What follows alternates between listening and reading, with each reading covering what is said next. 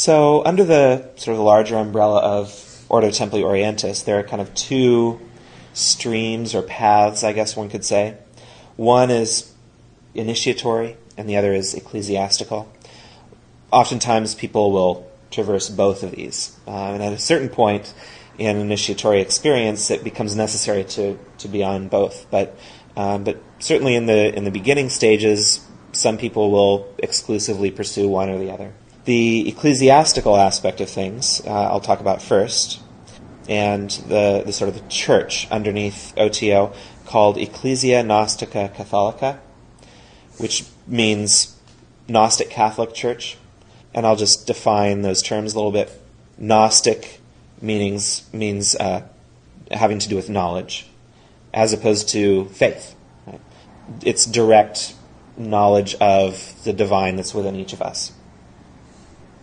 Catholic, okay, we all have the immediate association of the Roman Catholic Church, but Catholic, the word Catholic just means universal. And ecclesia just means like an assembly. And the Gnostic Catholic Church was incorporated into the OTO in, in 1908. It actually existed before OTO did. And it existed for a while prior to its own acceptance of the, of the law of Thelema. Um, in fact, it was in OTO before the church itself really formally accepted Thelema. And it, it did so in 1920. As it is uh, currently uh, manifested in OTO, it represents the aspect of OTO that administers the Gnostic Mass and various other associated ecclesiastical rituals. Aleister Crowley wrote Book 15, the Gnostic Mass, in 1913 in Moscow. In many ways, it is similar in structure to the Mass of the Roman Catholic Church, but the comparison ends with structure, as the Gnostic Mass is a celebration of the principles of Thelema, not Christianity.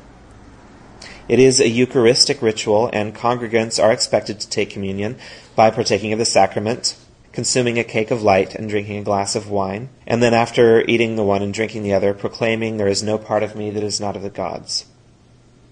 The officiants in the Gnostic Mass, the priest and priestess and deacon and, and children, uh, they're not intermediaries as they are in the Roman Catholic Church or other Christian traditions. They're not intermediaries between the congregants and their gods. Rather, they illustrate through the allegory and symbol of the dramatic ritual a process by which anyone may come to their own direct knowledge or gnosis of the divine within them.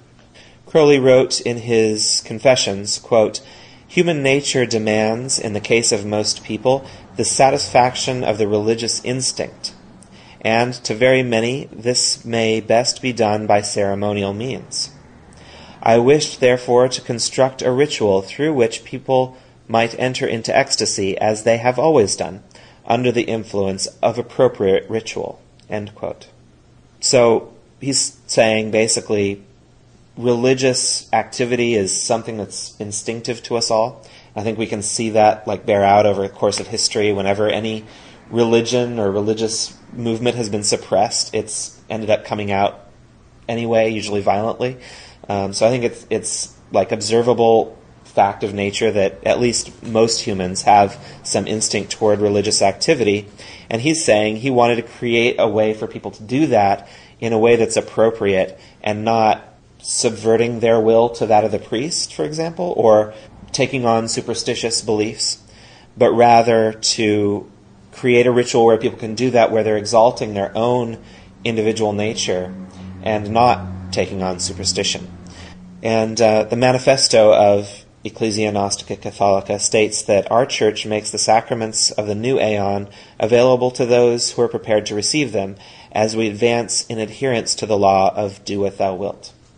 Um, so that's a little bit about the Mass. There are other ecclesiastical things that I'll, I'll just mention briefly. Um, there's the Feast for Life, as specified in the Book of the Law. The Feast for Life is held in celebration of the birth of a child. Baptism is a short public ritual that is usually given just before the celebration of the Gnostic Mass. Thelema rejects the concept of original sin. In Christianity, baptism like washes away sin and stuff like that. Uh, for us, baptism is a symbolic entrance into the thelemic community of worshippers, as well as a commemoration of the individual's birth into life and the church. Confirmation is the rite that confer, uh, confers formal lay membership in Ecclesia Gnostica Catholica. Within this rite of confirmation, the individual confirms that it is their true will to join the church as a soldier of Thelema and is anointed as a servant of Ra-Hoor-Khuit. Other ecclesiastical ceremonies include the Feast for Fire and Feast for Water, which are for uh, a male and female, respectively. This is specified in the Book of the Law.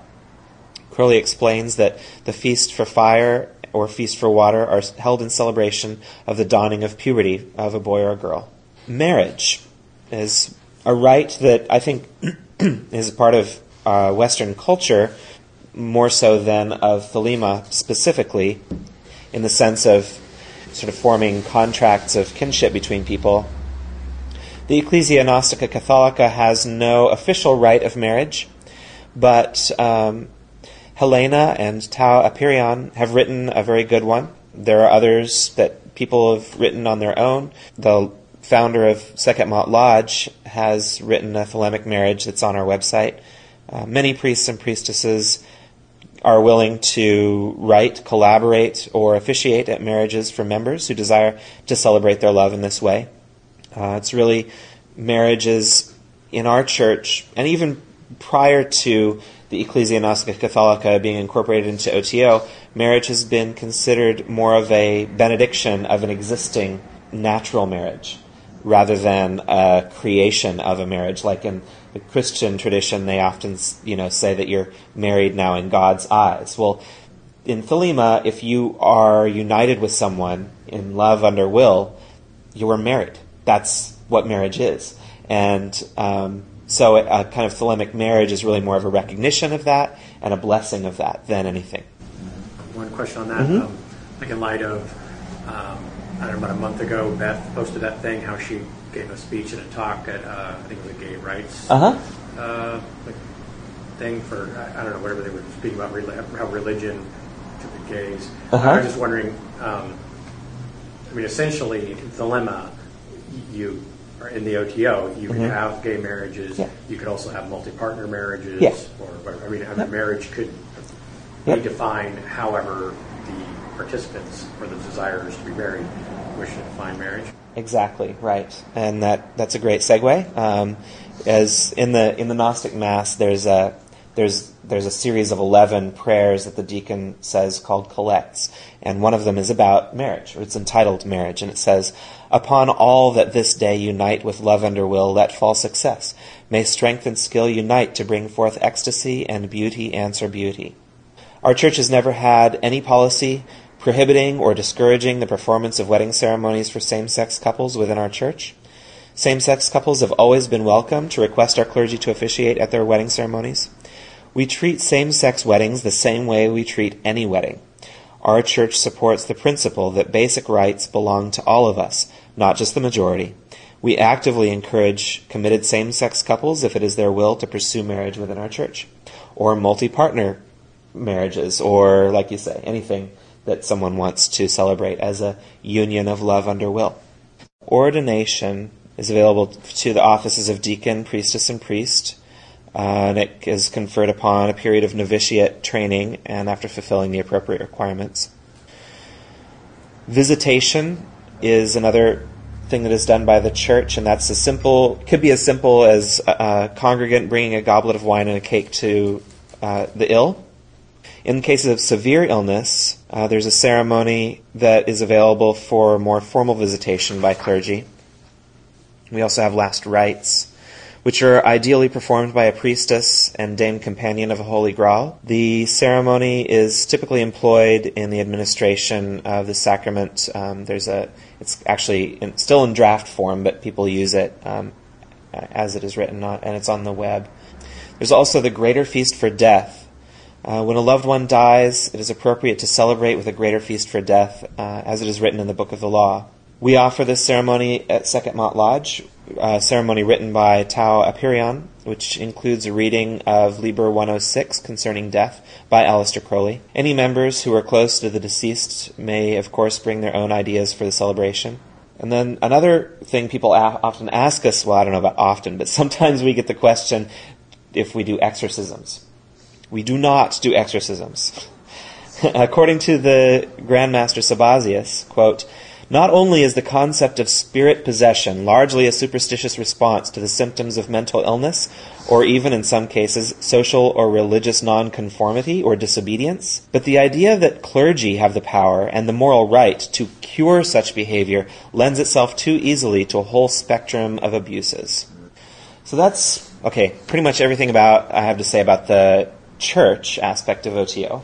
Okay, so the initiatory side. We had talked about the Ecclesia Gnostica Catholica. Now we'll talk about Mysteria Mystica Maxima, or MMM. Originally, this was the name of the OTO degree system in Great Britain. The degree system in Great Britain was headed by Aleister Crowley, and eventually this MMM was absorbed into the regular system of the order, and it now includes the degrees from Minerval through 7th degree. And I'm going to quote from Aleister Crowley where he wrote in Magick Without Tears about dramatic ritual to discuss kind of the nature of these initiations. He says, What is dramatic ritual?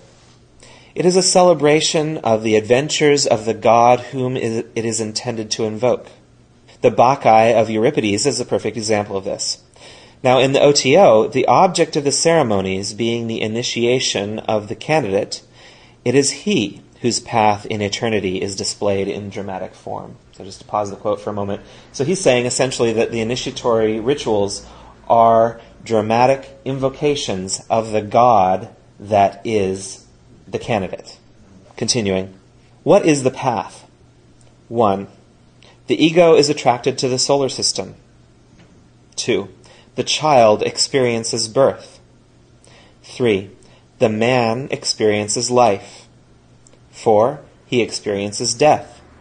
5. He experiences the world beyond death. 6. This entire cycle of point events is withdrawn into annihilation.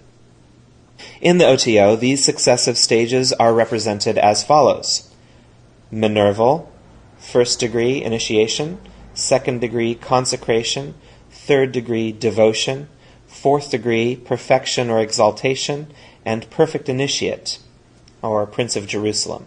Some of the degrees have numbers and some of them have titles. Like, for example, the first initiation you take is Minerval, which is actually not the first degree. The first degree comes after Minerval. He, he continues to say, um, of these events or stations upon the path, all but number three, which is the second degree, are single critical experiences. So, just to recap, um, Minerval, the attraction of the soul to the solar system, birth, death, afterlife, and the annihilation of all these are single critical experiences. We, however, are concerned with the very varied experiences of life, the second degree, which is not a single point event, but our whole life, right? So all subsequent degrees of the OTO, after a perfect initiate, are accordingly elaborations of the second degree, since in a single ceremony it is hardly possible to sketch, even in the briefest outline, the teaching of initiates with regard to life. The ritual's fifth degree through ninth degree are then instructions to the candidate how he should conduct himself, and they confer upon him gradually the magical secrets which make him a master of life. Pretty basic summary of what the point of initiation is and, and what the symbolism is of the first series of initiations, and, and then everything after that is an elaboration of that second degree which is symbolic of life. Initiation can be conferred only in a physical ceremony conducted by a chartered initiator. Oftentimes, people are curious about what the requirements are. Uh, for these man of earth initiations, there are three requirements. You must be free, i.e., not enslaved or imprisoned or on parole, um, and legally able to enter a contract. Uh, that's the first requirement. Freedom. Full age is the second requirement, uh, which is 18 for Minerval in first degree or 21 for subsequent degrees. And the third requirement is that you be on good report, which simply means that you're vouched for by two sponsors.